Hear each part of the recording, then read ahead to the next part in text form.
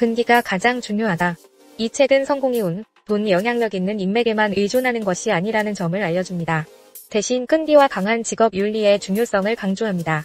꾸준히 노력하면 장애물을 극복하고 목표를 달성할 수 있습니다. 나만의 성공을 정의하라. 이 책은 독자들이 사회적 규범이나 외부의 검증에 의존하지 않고 자신만의 방식으로 성공을 정의할 것을 권장합니다. 이 책은 자신의 열정, 가치, 열망을 파악하고 다른 사람의 의견에 관계없이 전심으로 추구하도록 가르칩니다. 성장 마인드 개발 성장 마인드는 개인적, 직업적 성장에 필수적입니다. 이 강의에서는 학습하고 개선할 수 있는 능력을 믿는 것이 중요하다는 점을 강조합니다.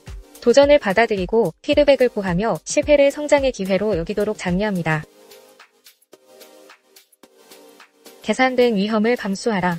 성공에는 종종 위험을 감수하는 것이 수반되지만 그 위험은 계산되고 신중하게 고려되어야 합니다. 이 레슨에서는 결정을 내리기 전에 잠재적인 보상과 결과를 평가하는 방법을 배웁니다. 계산된 위험을 감수함으로써 우리는 기회를 포착하고 자신의 안전지대를 뛰어넘을 수 있습니다. 실패를 배움의 기회로 삼기. 실패는 성공을 향한 여정에서 피할 수 없는 부분입니다. 이 강의에서는 실패를 소중한 학습 경험으로 받아들이는 것의 중요성을 강조합니다. 실수를 반성하고 필요한 조정을 하고 좌절에 직면했을 때 인내할 수 있도록 독려합니다. 강력한 직업 윤리 함양. 성공을 위해서는 노력과 헌신이 필수적입니다. 이 교훈은 우리에게 강한 직업 윤리를 기르고 규율을 지키며 목표를 위해 시간과 노력을 지속적으로 투자해야 한다는 것을 일깨워줍니다. 성공은 종종 오랜 시간 동안 일관되고 집중된 노력의 결과라는 것을 가르쳐 줍니다. 강력한 지원 시스템 구축 이 책은 성공이 영향력 있는 인맥에만 의존하는 것이 아니라는 점을 강조하면서도 강력한 지원 시스템 구축의 중요성을 인정합니다. 이 교훈은 지침과 격려, 건설적인 피드백을 제공할 수 있는 긍정적이고 지지적인 사람들로 우리 자신을 둘러싸도록 권장합니다. 지속적인 학습과 적응.